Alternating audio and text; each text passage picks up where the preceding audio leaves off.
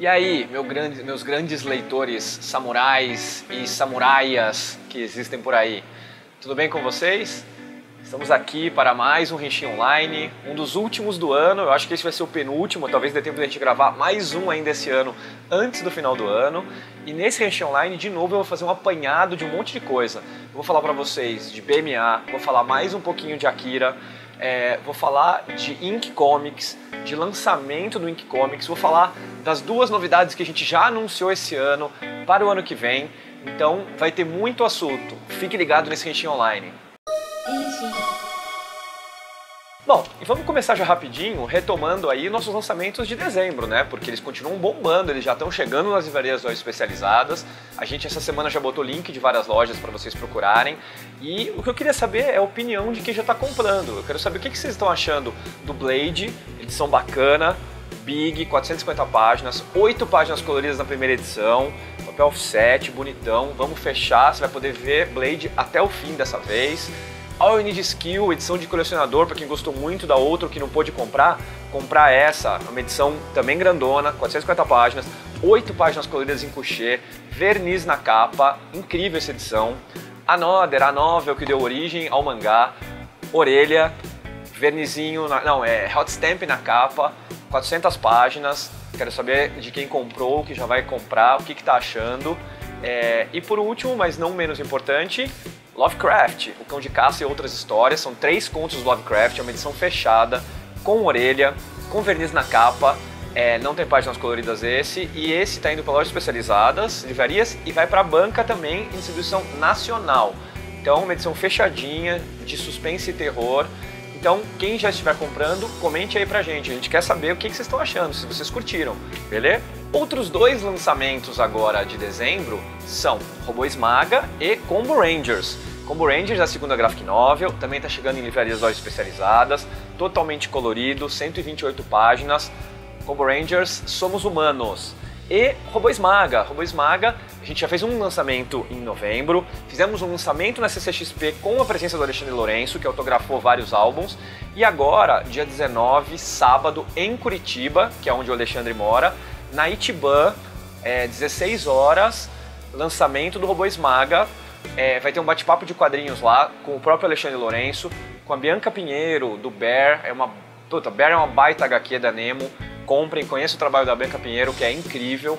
É, e a mediação vai ser do Lielson Zene, vencedor do BMA, assistente editorial da Maurício de Souza. Vai ser um evento super legal, sábado, dia 19, na Itiban, em Curitiba.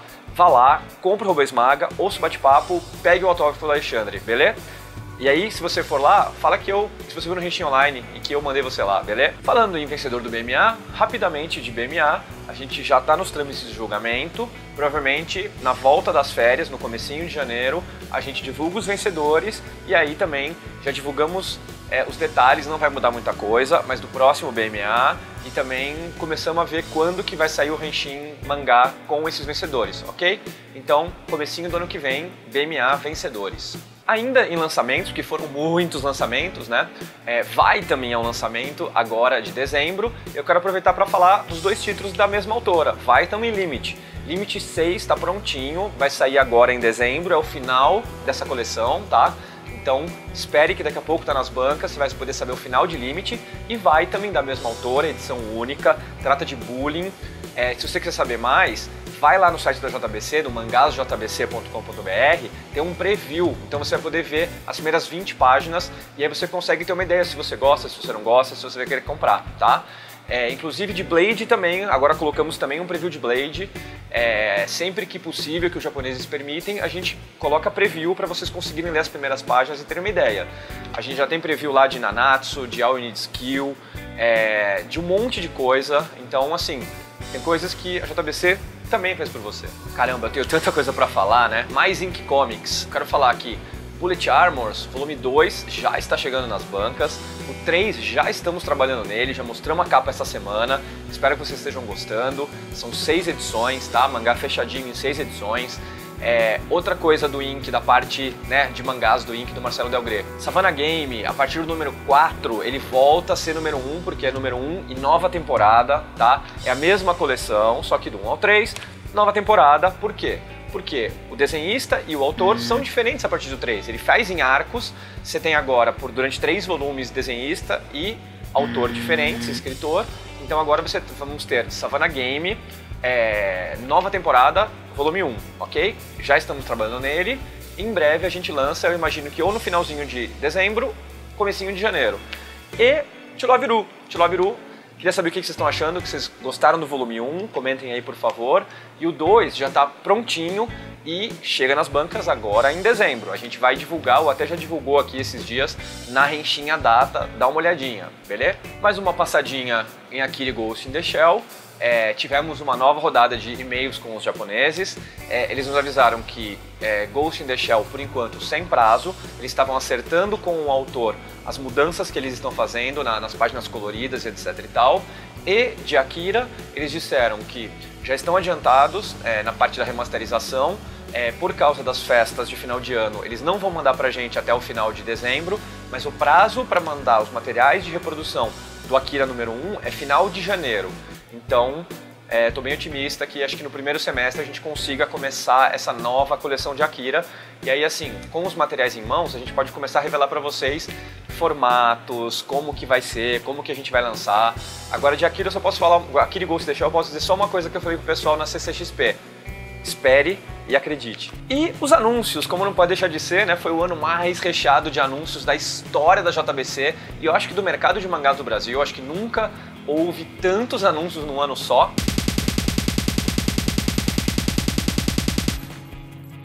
A gente chegou a 36 anúncios essa semana. Nosso primeiro título de 2016, que é um spin-off do Kenshin, né, em dois volumes. É uma história que é tipo uma versão do autor do Kenshin. E anunciamos o nosso 36º título, que é um grande título, um título super famoso no Japão, super famoso nos Estados Unidos, que é o Kekai Sensen. Se você não tinha visto, anunciamos o Kekai Sensen. Eu queria até contar uma coisa engraçada para vocês, né? A galera fala, ah, tal, você tem que trazer as coisas que estão bombando tal. Mas é engraçado que a cada três meses é, as pessoas pedem coisas diferentes de acordo com o que estreia na temporada de anime no Japão, né? É, pra vocês terem uma ideia, Kekai Sensen foi um dos mangás mais pedidos do primeiro semestre da JBC. Por quê? Porque foi quando o anime estreou. E aí, você vê, pra vocês terem uma ideia, o anime mais falado da temporada de outono e inverno do Japão, da última, foi Nanatsu. Em seguida, a gente trouxe Nanatsu, saiu no Brasil, Seven Deadly Sins. A próxima temporada foi a de primavera, no começo desse ano. E qual foi o anime um dos mais comentados? Kekai Sensen. E aí a gente agora conseguiu trazer. Logo depois dessa, a próxima temporada, um dos animes mais falados foi Gangsta. E a gente trouxe para você também. Então, na verdade, a gente também tá antenado, a gente traz as coisas, só que é engraçado, né? A galera começa a pedir muito quando tá, o anime tá bombando, depois entra uma temporada nova e a galera pede outras coisas, né? Então a gente tá sim antenado com isso. É, Kekai foi um dos animes de maior sucesso desse ano e agora, em 2016, ele vai chegar em mangá pela JBC, beleza? E aí a gente encerra com algumas informações rápidas, né? JBC, claro, vai trabalhar até o Natal, depois vamos parar, porque a gente também precisa de um descanso para recarregar as baterias, né? Então a gente vai deixar uns posts programados e tal, para vocês não ficarem sem informação, mas é claro que a gente não vai estar tá aqui, então não estranhem que a gente não vai ter muitas respostas lá, porque a gente vai estar tá de férias, né?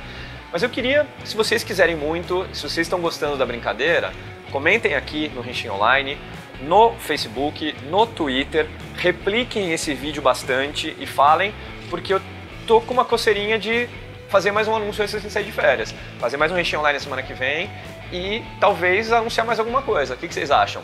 Contem pra mim. Obrigado, pessoal. Abraço. Pessoal, como eu sempre digo, por favor, dê o seu joinha aqui pra gente. O seu like é muito importante se você gostou. Pode ser o dislike também se não gostou, como eu falo sempre, não tem problema. Mas se gostou, por favor, dê um like, compartilhe o nosso vídeo, comente. Tudo isso nos ajuda muito a poder fazer mais vídeos e continuar fazendo esse trabalho para vocês. É, assista nossos outros vídeos, dá uma olhadinha. A gente tem um monte de vídeo bacana, não só Henshin Online. A gente traz vídeos de mangakás para você, mangakás que vieram ao Brasil. Então, é, tem vídeo da Mari Yamazaki, do Termai Romai. Tem vídeo do Torimiki, que veio com ela. É, a gente tem é, o Atsuki gravou um vídeo pra gente, a gente conseguiu fazer o Atsuki mandar uma mensagem para vocês.